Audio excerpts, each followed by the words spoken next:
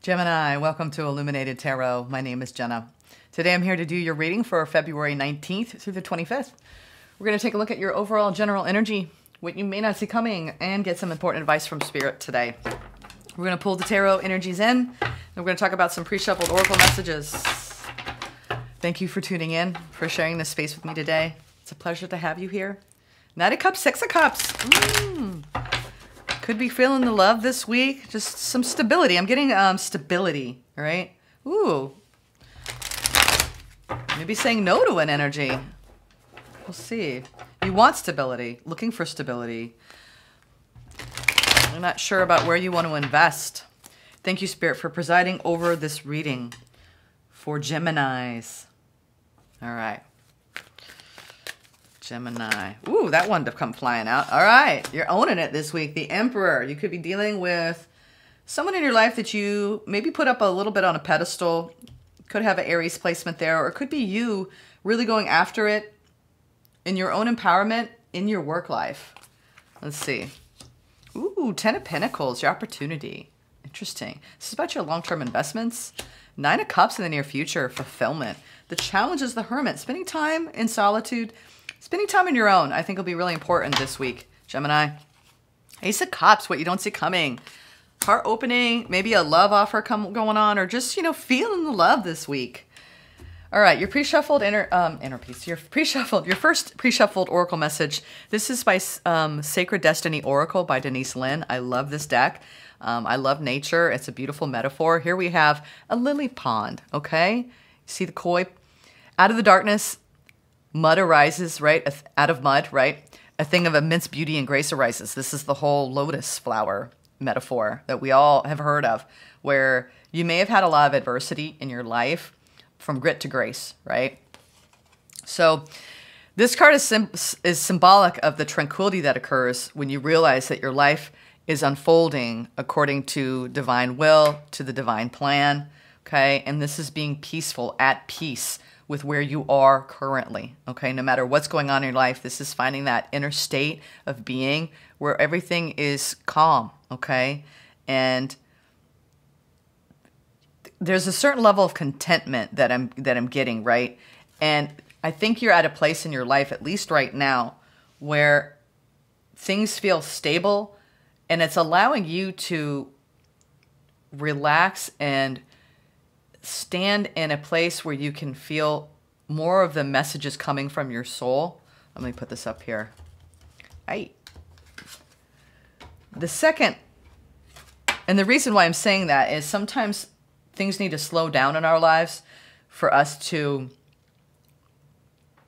reevaluate things from a different perspective. I feel like there's going to be an appreciation this week that you'll have for your life and where you are right now. It's this feeling of just contentment. I'm getting that strongly. Right here we have the card of standstill, which is the swamplands. And the swamplands are low-lying areas where there's a lot of water that's been collected. So you could be dealing with a lot of water around you. You could live near the water. Water is symbolic of our emotions and the things that we feel. So because that um, this bird is is is really being cautious and careful about its next moves. So you could be needing to pause this week so you can collect your thoughts so you can be very tactical about your next move okay? Sometimes things have to slow down, right? Sometimes things don't progress the way we want them to in certain areas because we need to, pause and consider, right? Um, the things that we need to do and shift and change within us to unlock any kind of barriers. So there's some sort of barrier that you might encounter this week, and you need to just wait it out, okay? And be careful because you don't want to wrestle. When we get when you wrestle when you're stuck in the mud, it's going to make things worse. So watch out for any place of resistance within you around the circumstances that you encounter this week. Overall, I do believe that you're going to be feeling a beautiful level of inner peace and, and almost this need and necessariness of, of, of waiting and just standing still. All right, let's go deeper into what's going on for the week ahead. I love seeing these cards. It feels it feels like a very solid, solid week for you. This is a harvest time. Two of Pentacles, Seven of Pentacles. But you could be going back and forth about what you want to invest in or what you want to harvest out of life right now, where you find yourself.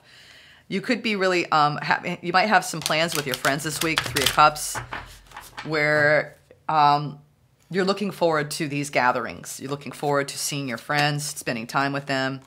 The Emperor, overall general energy, Knight of Cups, Ace of Cups, and the Chariot. Beautiful. Well, there might be a bit of a push pull, especially with the standstill in the Chariot. You might be being guided to slow down in a love situation because we have the Knight of Cups. And uh, that's someone coming in, you know, really uh, in a very romantic embodiment towards you with their cup of love. And they could be coming in pretty fast. So I think you're being guided this week. It's going to bring a lot of contentment. I think you might be looking at an opportunity coming in or has recently come in, Gemini, around love. And it's looking promising, but you're still collecting data. you're still being careful. And if this is an existing connection, it's it's you know, you're moving forward from a state of love and it's almost just like you keep pausing and recognizing, wow, I'm so lucky. This is that pause of feeling so blessed and lucky in a connection that feels really good to you. Okay. The moon and the sun. I mean, why did I say the sun? The moon and the ace of cups. There's this aspect of there's been layers and layers and layers for those of you in a connection over time of the love growing deeper and deeper and deeper and stronger and stronger. And no matter what you encounter, whether the two of you get stuck in the mud sometimes, there's still this inner peace that is encompassing the entire connection at all times. This person brings you peace. That's all I know. Interesting. I feel this gentleness coming from this bond.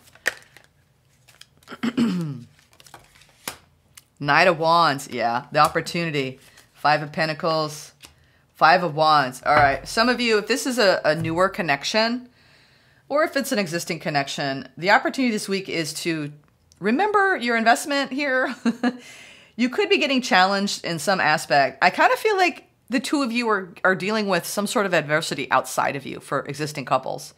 And this is that, you know, figuring out what has value. I feel like you're contending with a, an, an impulsive energy that affects both of you. Um, and now this is a newer connection, right, for people that are entering into a love situation. This is whether you're investing in something that still holds value for you because there is there is some sort of energy that feels a little bit flighty. You know, knights come in, they come full speed in, and you're like, wow, this is happening so fast. Is this going to be reliable? Underlying, I do see the Ten of Pentacles, but there's this aspect I think you're going on within yourself this week and a need to go within. That's the challenge because there's something about this that is kind of um, feeling a little bit off and you're you're pulling back and going is this is this going to hold the value that I think it's going to hold here from the 5 to the 10 okay but with two fives here there's some sort of friction going on around you receiving this offer and and trusting that it's could be a really prosperous and long term investment. Now, for those of you that are couples, you could be looking at investing in something together and you could be disagreeing about that. One person wants to go this way and the other person wants to go that way when it comes to what you want to invest in for the future and you both have different opinions about what your value is around you around what you want. And trying to come to a place of agreement has been very difficult okay for you geminis that are in a long-term partnership and or a marriage here. There's some contention going on because you have different points of view about what you want to put your investments in and what you both value out of those investments and what you both want. Just don't be impulsive with making any decisions right now around any investment love or otherwise, okay, Gemini, this week in particular. And the hermit energy, the challenge here of going forward, you needing to go within to shine a light on what you can't see. That's that standstill energy. You need to take a pause long enough to be able to see through the the um, the murkiness of the mud. Okay. Ooh, yeah, the devil, the fool, and the six of wands. All right, for those of you that are are wondering if a situation still holds value for you, you have a lot of love to give, Gemini. I see that clearly, and and this your satisfaction and your fulfillment is on the line right now. Okay, for those of you that are opening up into a new love situation, you're being very careful. And I like seeing that because you know that when it comes to your long term investments, it's very imperative that you, very, it's imperative that you practice discernment and you're very cautious about what you allow in.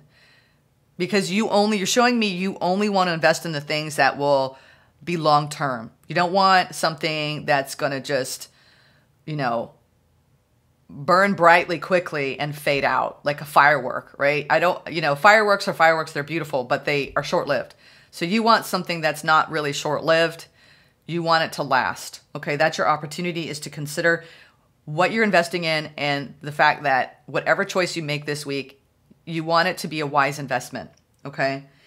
And this hermit energy, what you're being guided to go within is to be very careful about any energies in a brand new beginning, any new people, any new situations that don't feel right to you. This is about trusting your gut. Okay, Gemini, you got to trust your gut when it comes to a new opportunity. Okay, you will ultimately find success here, but there's something that you're conquering around an energy. This could have to do with you realizing it's time for a new beginning, and the challenge is is opening up into a new beginning and recognizing eh, eh, you're sifting and sorting through different energies this week. Some of you will round love and trying to temper any situation that feels like it's getting out of hand. It's like, whoa, this person needs to slow down. You know, I'm getting a little overwhelmed. I feel like you're getting overwhelmed with an energy, Gemini, um, especially you singles out there. You know, ultimately, I think you're calling in what you want, but you could have multiple opportunities here.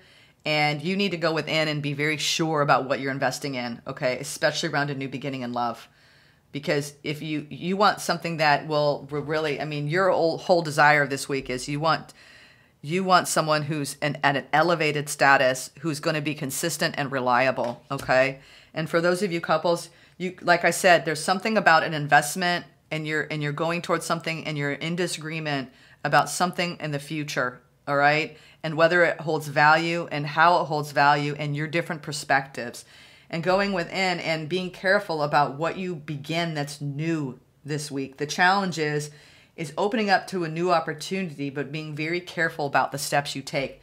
That's the standstill. You have to be very careful when you feel stuck in the mud, which step you take to get out of that. It's almost as though you could be in a dicey situation in love or in an investment and looking ahead and going, hmm, is now the time to pull out? Is this the right person? You're asking yourself those crucial questions this week yeah, and really, you need to be wise here. with The King of Swords, practice wisdom here, all right, and true discernment, Gemini, because your satisfaction and your fulfillment is on the line here. All right. And this devil could have a lot to do with you just being afraid, being afraid to open up, okay? Because ultimately, you want success here, whether it's in your investments financially or in love, right? With your heart space. Obviously, you don't want to invest in something that's not going to succeed for you. But I do see in the near future, you're going to make the right decision. A lot of you, this has to do with love.